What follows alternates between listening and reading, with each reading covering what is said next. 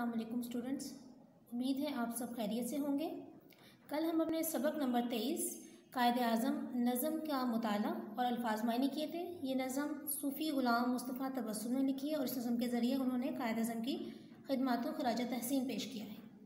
आज हम इस नज़म के अशार की तशरी करेंगे, जिसमें हम बंद नंबर एक और बंद नंबर दो की तशरी करेंगे और साथ साथ आपको तशरी का कॉपी में जिस तरह लिखी जाएगी, उसका तरीक़ेकार भी बताएँगे। पहला बंद है, तेरे ख्याल से है दिल शाद माँ हमारा, ताज़ा है जहाँ हमारी, दिल है जवा हमारा। तेरी ही हिम्मतों से आज़ाद हम हुए हैं, खुशियाँ मिली हैं हमको, दिल शाद हम हुए हैं। आबाद है तुझी से ये गुल सिता हमारा। अभी आपके पास तशरी है। पहले हम शेर लिखेंगे या बंद पूरा लिखेंगे?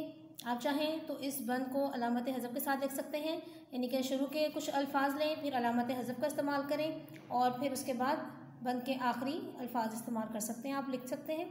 उसके बाद सबसे ज़रूरी चीज़ होती है हवाला मतन, जिसके अलग अलग नंबर होते हैं। हवाला मतन में पहले शायर का नाम लिखा जाता है, शायर है सूफ़ी ग़ुलाम मुस्तफ़ा तबस्सुम, और ये अलामत तखलुस जो है वो लाजमी डाला करें शायर के तखलुस पर।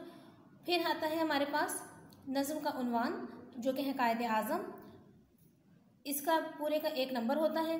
फिर हम मुश्किल अल्फाज के मानी लिख लेते हैं। शादमा, खुश, ख्याल, तसव्वुर, सोच। फिर आती है तशरी शायर कायद आज़म मोहम्मद अली जिना, ये बीच में सकते की अलामत इसलिए क्योंकि ये दो अलग अलग नाम हैं, दो अलग अलग इसम हैं।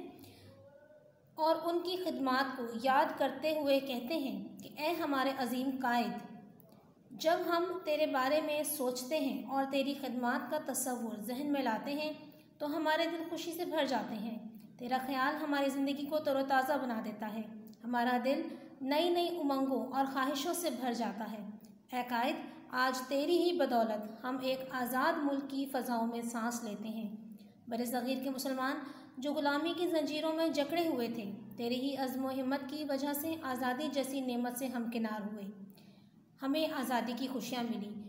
कायद अज़म की वजह से ही हमारा मुल्क आज़ादी की बहार देख रहा है, क्योंकि आज़ादी से बड़ी और कोई नेमत नहीं। ये हमारे पहले बंद की जो है, यहाँ पर मुकम्मल हो गई।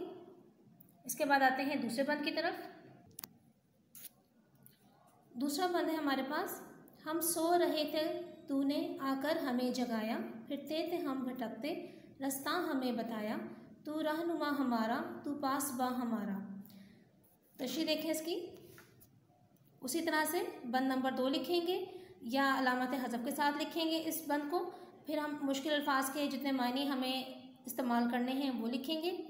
जगाया, बेदार किया, रहनुमा, रास्ता दिखाने वाला, पासबा मुहाफ़ और उसके बाद तशी शुरू करेंगे शायर। कायद अज़म की बलबला अंगेज़, क़्यादत की तारीफ़ व तहसीन बयान। करते हैं कि बर सग़ीर के मुसलमान गफलत की नींद सो रहे थे और ग़ुलामी की ज़िंदगी गुजारने के आदि हो गए थे। फिर मुसलमानों को कायद अज़म मोहम्मद अली जना रहमत जैसा रहनुमा मिला, जिसने मुसलमानों को इस गाफिल नींद से निजात दिलाई। आज़ादी की अहमियत बताई। आज़ादी हासिल करने का रास्ता दिखाया। अकायद हम तेरे एहसान मंद हैं। कि तूने हमें आज़ादी की राह पर गामजन किया, तुझ जैसे अजीम रहबर और रहनुमा की बदौलत आज हम आज़ादी का लुत्फ़ उठा रहे हैं। यहाँ पर पन नंबर एक और दो की तशरी ख़त्म हो जाती है।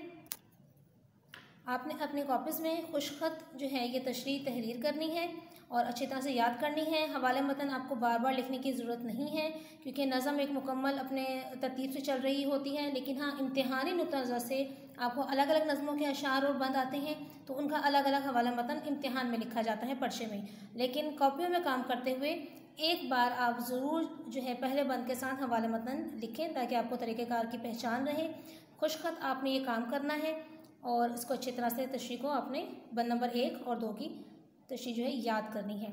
अगले सबक के साथ कल हाजिर होंगे। इजाज़त दीजिए। अल्लाह हाफिज़।